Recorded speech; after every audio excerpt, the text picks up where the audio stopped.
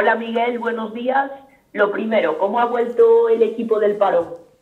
Buenos días, Rocío. Eh, pues, pues bien, al final lo hablamos ahora, ¿no? Que el parón se hace, se hace muy largo. Eh, ya tenemos ganas de, jugar y de competir, pero, pero estamos muy bien. Estamos, estamos con, pues como siempre, con, ganas de, jugar, con ganas de, de ver que lo que estemos practicando funcione y de seguir adelante con la competición.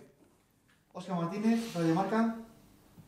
Sí, Miguel, y precisamente pues acaba ya ese parón y vuelve agraciadamente ¿no? a la competición. Domingo 12 y media contra el Racing Féminas. No sé qué conoces un poco de, este equipo que nos puedes contar que sean los, puntos fuertes del conjunto cantado. Bueno, para mí un punto fuerte del Racing, eh, al final cambian de entrenador, es el entrenador que el año pasado está en el Oviedo, que también hizo buena temporada y bueno, eh, para mí un punto fuerte es, que no quieren el balón, entre comillas, entonces nos van a dar la responsabilidad a nosotras, como, suele ser habitual, pero es un equipo que sin balón funciona muy bien. Entonces, en su campo, eh, teniendo en cuenta que también posiblemente el tiempo no sea muy favorable para nosotras, pues desde luego que va a ser un partido muy difícil. Eh, al final es que, claro, te, quedan dos, tres, cuatro partidos de la primera vuelta, todos complicados, y el Racing no, no va a ser menos. Entonces es un equipo, ya te digo, sobre todo muy, muy duro, muy, muy rocoso sin, sin balón, que se, se puede meter en su campo y entonces te pueden complicar las, las cosas.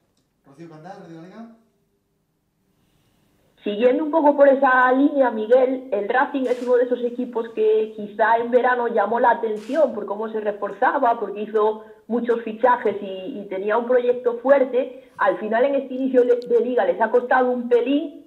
No sé si crees que es también uno de esos rivales que, que ya digo, por, por la plantilla que tiene y demás, es más difícil de lo que indica la clasificación ahora mismo. Eh, a ver, Rocío, yo, creo que el, tema de refuerzos y de fichajes, incluso para nosotras también, es, maravilloso, ¿no? O sea, al final tener buenas jugadoras o tener buenos jugadores es, lo, no es lo principal, pero es muy importante. Pero yo creo que la clave es cómo se relacionen eh, entre ellos. Entonces, ahí yo sí que creo que tiene una parte importante eh, el entrenador, el club, los hábitos que adopten, los horarios, la manera de jugar. O sea, entran unas variables o entran muchas variables que hacen que eso funcione o no. Entonces, puedo pensar que a lo mejor el Racing, pese a haberse reforzado muy bien, eh, en su proceso todavía no estén en su punto máximo. De ahí eh, que estén en la clasificación donde están. Que se haya fichado bien o mal, ya te digo, es, importante, pero yo creo que el, proceso, como todos los equipos, eh, determina la, situación de las plantillas. Entonces, yo creo que según eh, se vayan conociendo más o según vayan conociendo, o sea, jugando más o proponiendo una manera de jugar u otra, irán para arriba o irán para abajo. Pero al final los fichajes importantes, pero es más cómo se comunican o cómo se relacionan entre, entre ellas. Sí, más preguntas. Sí, Oscar Martínez. Sí, Miguel, nada, la pregunta típica creo que de todas las ruedas de prensa, un poco cómo se encuentra la plantilla, qué bajas tienes, y aprovecho para introducir otro nombre, que es el de Ainhoa Marín, cómo ha, cómo ha vuelto a la selección. Pues a ver, eh, me has hecho dos, tres y ahora ya se me han olvidado casi las tres. No, lo de Ainhoa, empiezo por la última como siempre, que es la más fácil. Eh, Ainhoa ha vuelto muy bien. Si es que Ainhoa yo la tuve hace tres temporadas, estuve con ella en el Barça y ya iba a la selección.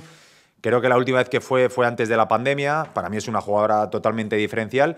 Y sí que es verdad, y, no lo he hablado con ella, pero algún día se lo diré, que ha dado un punto cualitativo eh, importante. Yo cuando estuve con ella hace tres años sí que era una jugadora eh, una buena jugadora, pero ahora es determinante. Y eso yo creo que ha hecho eh, que vuelva a la selección, que lo hayan visto de la selección española y la hayan vuelto a llamar. Yo creo que es una jugadora brillante, imprevisible y que nos, va a venir muy bien en esta temporada.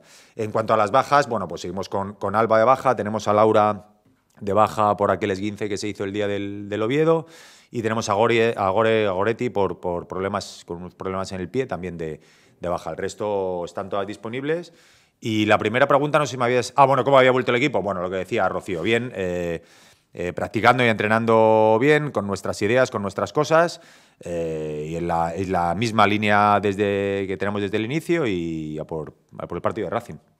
Rocío Candal, de Galega. Y ahora, junto con el partido del Racing, os queda también el del Levante Las Planas para cerrar este año 2021 eh, tienen un sabor o una motivación especial por el hecho de saber que si sumáis de tres en los dos, termináis el año en lo más alto. Sí, hombre, no, lo hemos hablado, pero todos lo tenemos. O sea, es algo que no se habla, pero, pero se sabe.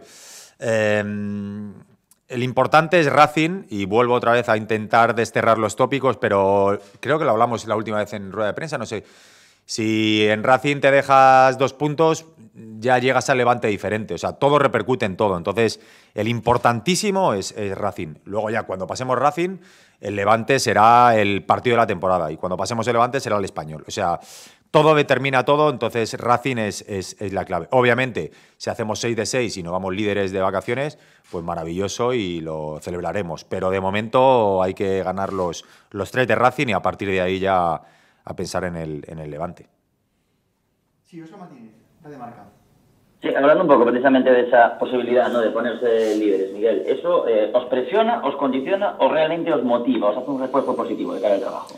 Pues mira, Óscar, yo, yo creo que está muy bien que pase porque aunque no se quiera, eh, hay un ambiente, y eso pasa en todos los equipos, yo creo que hay un ambiente de, de, euforia, entendida en el buen sentido de la palabra, pero es un buen momento para ajustar cosas, ¿no? Es un buen momento para, para llamar la atención y decir, oye, eh, y de todos, ¿eh? staff, jugadoras, eh, chicos, chicas, esto está muy bien, pero hay que mejorar muchas cosas, vamos a estar atentas, vamos a estar atentos a todo lo que se nos pueda escapar, ajustar todo lo máximo posible, porque ahora que todo va bien, eh, es el momento más peligroso de la temporada, ¿no? Es decir, bueno, qué buenas somos, estamos ganando, vamos segundas, y este es, para mí son los, los momentos de la temporada más peligrosos, ¿no? Cuando la gente se relaja, incluido yo, y, y, y puede, puedes dejarte puntos que a priori eh, no te esperas. Entonces, bueno, obviamente es un caramelo que a todos nos gustaría tener y, y comernos, ¿no? Llegar a, a, Navidad de esta manera, pero, pero ahora es cuando más hay que estar, ahora es cuando no puede fallar nada, cuando todo el mundo tiene que funcionar y donde todos tenemos que tener las orejas bien, bien en punta para estar atentos a todo lo que pueda pasar y, y que no se nos escape nada. ¿Alguna cosa más?